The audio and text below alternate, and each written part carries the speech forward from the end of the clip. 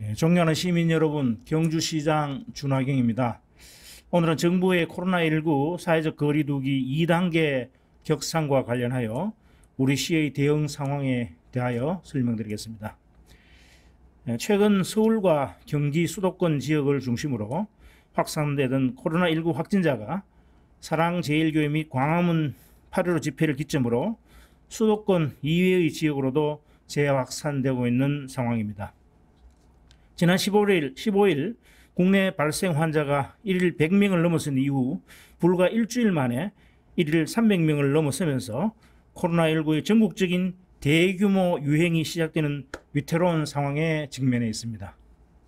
10명 내외였던 수도권 이외의 지역도 8월 21일부터는 환자 발생이 1일 70명을 넘어섰고 지역도 넓어지고 확산세도 빨라지고 있습니다. 지난 2월 대구와 경북에서의 확산, 5월 이태원 클럽을 중심으로 한 확산에 이어서 심각한 위기에 직면해 그 어느 때보다도 비상한 각오와 과감한 조치가 불가피한 상황입니다. 이에 따라 정부에서는 23일 0시를 기해서 전국을 대상으로 2주간 사회적 거리두기가 2단계로 격상이 되었습니다. 이와 관련해서 우리 시의 주요 조치 사항을 말씀드리겠습니다. 첫째, 실내에서는 50인 이상, 실외에서는 100인 이상이 모이는 집합 행사 모임은 원칙적으로 금지가 됩니다. 그리고 유흥주점, 단란주점 등 고위험 시설과 음식점, 목욕장, 학원, 영화관 등 다중이용시설은 핵심 방역 수칙인, 수칙인 발열 체크, 명부 작성, 손 소독제 비치, 마스크 착용, 주기적 환기 등을 준수할 경우에 하나여 제한적으로 운영할 수 있습니다. 셋째, 실내 공공체육시설, 도서관, 주민자치센터, 청소년 수련관 등 밀집도가 높은 공공시설은 운영을 중단하고 그 외 공공시설도 핵심 방역 수칙을 준수하면서 제한적으로 축소하여 운영하게 됩니다.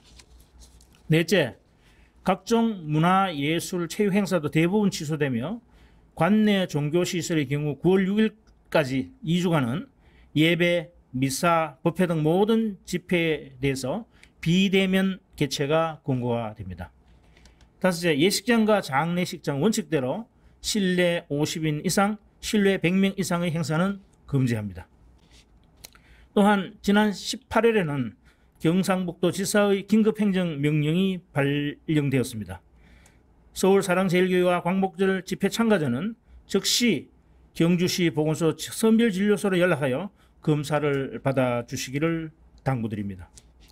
도지사 긴급명령 위반 시에는 형사처벌과 구상권이 청구될 수 있음도 알려드립니다.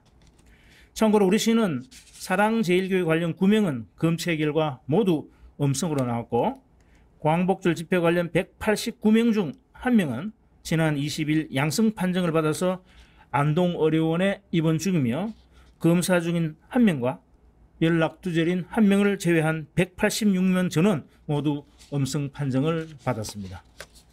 이러한 조치는 우리 모두의 생명과 안전을 지키기 위한 필수적인 조치라는 점을 널리 이해하여 주시기 바랍니다. 존경하는 시민 여러분, 전 국가적인 노력으로 코로나19의 확산세가 다소 감소하면서 일상을 조금씩 찾아가는 시점에서 또다시 대규모 확산이 발생하게 되어 무척 안타깝게 생각합니다. 전국적으로 강화된 조치에 따라서 시민 여러분의 일상과 생업에 큰 희생과 불편을 겪고 계십니다만은 지금의 확산세를 막지 못한다면 더욱 큰 사회적 비용과 피해가 발생하고 위기에 직면하게 될 것입니다. 언제 어디서든 코로나19에 감염될 수 있다는 사실을 기억하고 당분간은 꼭 필요한 외출 외에는 가급적 안전한 집에 머물러 주시기 바랍니다. 불가피하게 외출하는 경우에도 반드시 마스크를 착용해 주시고 손 씻기, 거리두기 등 개인 위생 수칙을 철저히 준수하여 주시기 바랍니다. 가족과의 식사나 모임 시에도 개인 위생과 방역에 철저를 기해 주시고 몸에 조금이라도 이상이 있다고 생각될 때는 경주시에 설치된 선별 진료소로 신고하여 주시기 바랍니다. 시민 여러분 스스로가 방역의 최전선에 자리한다는 책임을 가지고 자신과 가족을 지킨다는 마음으로 적극적인 협조를 부탁드립니다. 코로나19 확산과 함께 태풍 바비의 북상, 어록의 집단 휴진 등으로 삼중기를 고를 겪고 있습니다마는 현 상황을 너무 불안해하거나 용기를 잊지 마시기는 바랍니다. 우리 시는 모든 행정력을 총동원하여 이 위기를 하루빨리 벗어나서 일상으로 돌아갈 수 있도록 최선을 다하겠습니다. 감사합니다.